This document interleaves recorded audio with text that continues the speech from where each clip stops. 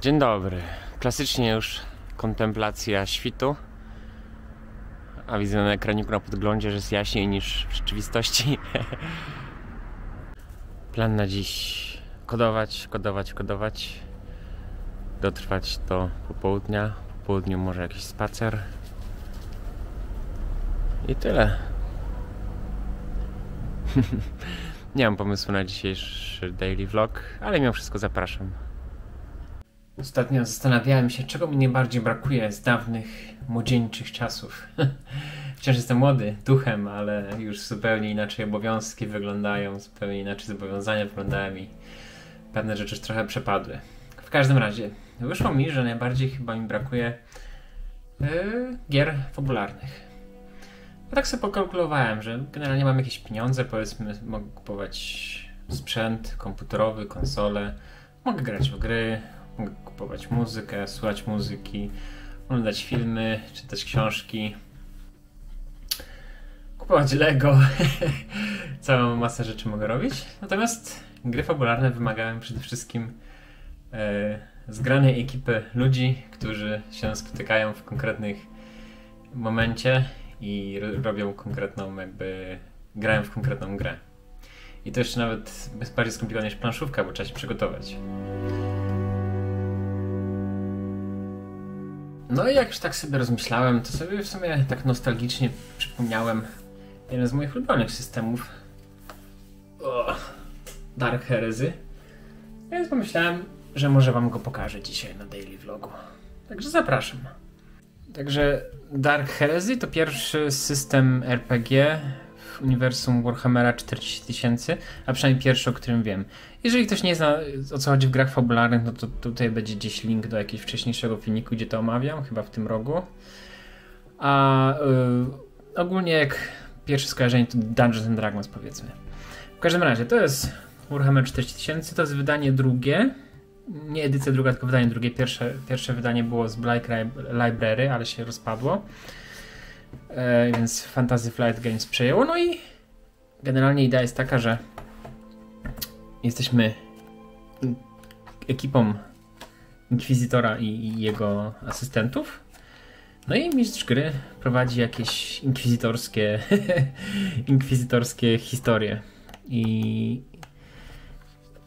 idea jest taka, że jest chyba, może, chyba nawet nie ma inkwizytora tutaj stricte, są tylko a, a, jakby jego wszyscy um, ochroniarz powiedzmy, o dobra, może tak, przekartkuję, bo śmiesznie pamiętam.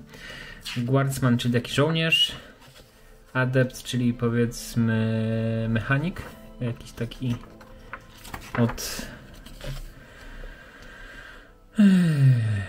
bez mechaniki sprzętów Arbitrator to chyba jest jakiś rodzaj policjanta. Już nie pamiętam. O wow, to dopiero teraz mnie nostalgia uderzyła. Assassin jakiś skrytobójca. Kleryk, no to taki typowy yy, ten, no, no paladyn. Guardsman. A tu Guardsman już był wcześniej. E, dobrze widziałem? A, dobra, mniejsza o to.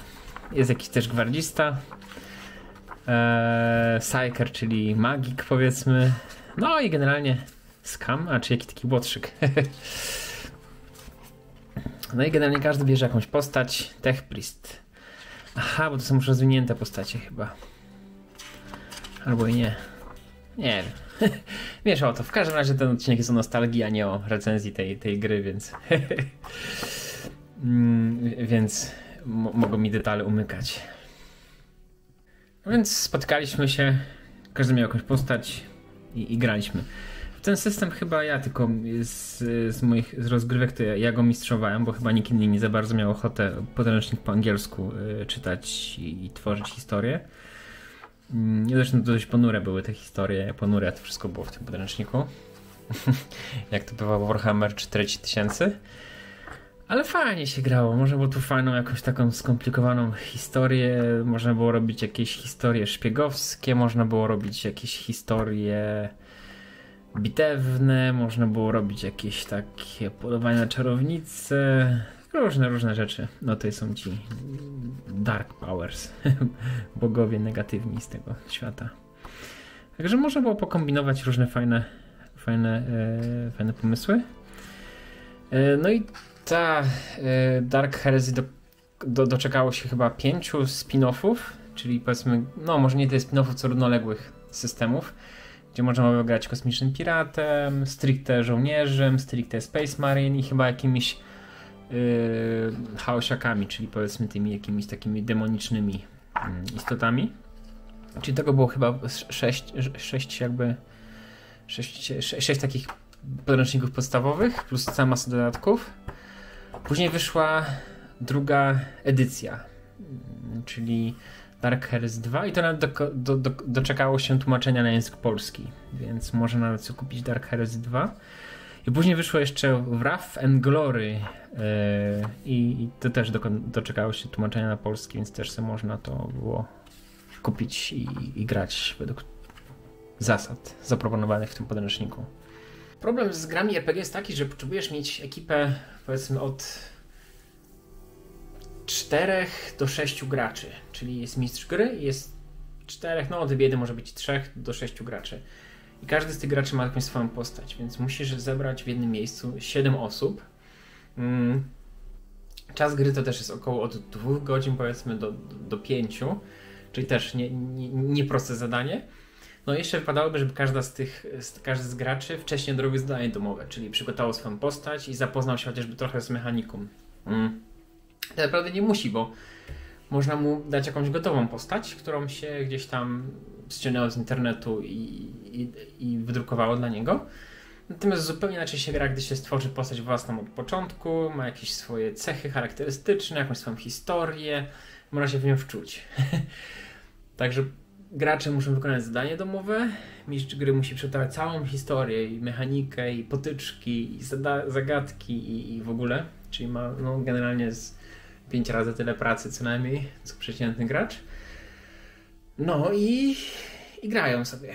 I problem jest taki, że jeżeli ktoś z jakiegoś powodu nie może przyjść, no to historia idzie do przodu. I ta osoba trochę jest w tyle. I pół biedy, jeżeli historia jest na jedno spotkanie, na jedną sesję. No to powiedzmy, że y, ktoś tam kogoś nie było, więc przyjmujemy, że jego postać, nie wiem, dostała jakieś tam kosmicznej biegunki, została w koszarach gdzieś tam, cokolwiek. Ekipa pojechała na misję, wróciła i tam sobie pośmieszkowali z tego. Gorzej jest, jak się jedną historię rozwija na kilka spotkań, na kilka sesji. To już później trzeba się nagłowić, jak tą postać dokoptować. E, trzeba jej punkt doświadczenia jakiś przydzielić odgórnie, żeby nie odstawała e, od innych, żeby nie było tak, że wszyscy są super wypakowani, doświadczeni, uzbrojeni, jest jakaś bitwa, a ta postać pojawia się na pierwszym poziomie znikąd i jakkolwiek byśmy nie kombinowali, no to jeden strzał, jeden uderzenie mieczem od przeciwników rozkłada od razu na kawałki. Także tutaj trzeba też pokombinować z balansem. No, i właśnie tego mi totalnie brakuje.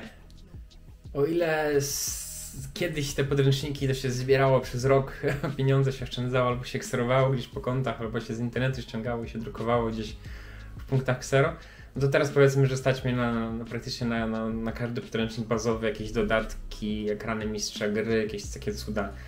Kart postaci mogę sobie drukować ile chcę, bo mam drukarkę w domu. Kości nie są problemem, też już teraz da się kupić je prawie wszędzie. Kiedyś to było bardzo ciężko było kupić w sklepie stacjonarnym kości specjalne do gry, a Allegro jeszcze wtedy dopiero raczkowało, więc też to było dość takie, dość spore wyzwanie, żeby kości do gry kupić. Chodzi o kości, które są inne niż e, szóstki. Są czwórki, szóstki, dziesiątki, dwunastki, dwudziestki, setki, jakieś takie. No, teraz to wszystko, te wszystkie techniczne aspekty są, są łatwiejsze. Prawie każdy podręcznik ma system startowy, czyli sobie ściągasz PDF-a, 20 stron, drukujesz i rozdajesz tym towarzyszom karty postaci gotowe i masz jedną historię na jedną sesję, czyli za darmo możesz w ogóle sobie jedną sesję rozegrać. Prawie wszystko jest przetłumaczone bardzo szybko na język polski, czyli też nie trzeba się fatygować z tłumaczeniem, z improwizowaniem i takimi rzeczami. Ale nie ma ludzi. Wszyscy są zajęci. Ja sam jestem mega zajęty praca, rodzina, yy, zobowiązania, więc jakbym miał być mistrzem gry, to to już w ogóle jest dramat, żeby znaleźć te, ten czas, żeby zaplanować historię. Mógłbym być graczem, ale tu musiałbym znaleźć jakieś mistrza gry. A właśnie wszyscy też tak samo mają. Rodziny pracują. Yy, kryzys tutaj inflacja nie ułatwia sprawy. Nie, nie ma tak, że wszyscy po prostu sobie pracują, bo lubią, tylko jednak wszyscy cisną, bo muszą bardzo mocno. No także kiedyś w dawnych czasach dzieci nastoletnich to, to było łatwiejsze. nie trzeba pracować. Jedyny problem jaki był, to to jakiś sprawdzian gdzieś tam się szykował, więc można było sobie poświęcić jednak trochę czasu po sprawdzianie, na, żeby sobie zagrać porządnie. Co najciekawsze, y, to nie jest wcale możliwe, żeby y, być dorosłym i grać w gry RPG, bo wiem, że ludzie grają w gry RPG i grają, y, trochę grają online, szczególnie w czasach COVID-u to było chyba jedno rozwiązanie, ale też są ekipy, które spotykają się i grają, więc może to może być dobry pomysł dla mnie, żeby spróbować odbudować jakąś ekipę ludzi, których można się spotkać raz w miesiącu, raz na dwa tygodnie, na te 5 godzin. Wziąć te karty postaci i zagrać jakąś fajną historię. Czy to w Warhammerze 4000, czy to w uniwersum Wiedźmina, czy to w Warhammerze Fantazy, czy to w Star Treku, czy to w Dungeons and Dragons. W zasadzie teraz można nieskończenie wiele systemów tworzyć. Są takie systemy generyczne, że po prostu wybieramy sobie cyberpunk, samurajowie, yy, Lovecraft, western, co nam przyjdzie do głowy, space opera i tam mamy podwaliny pod to i prostu się umawiamy, że bierzemy jakiś tam podstawowy system, tu mamy jakieś podstawowe mechaniki broni, tu mamy jakieś podstawowe mechaniki pojazdów i idziemy na wielką improwizację.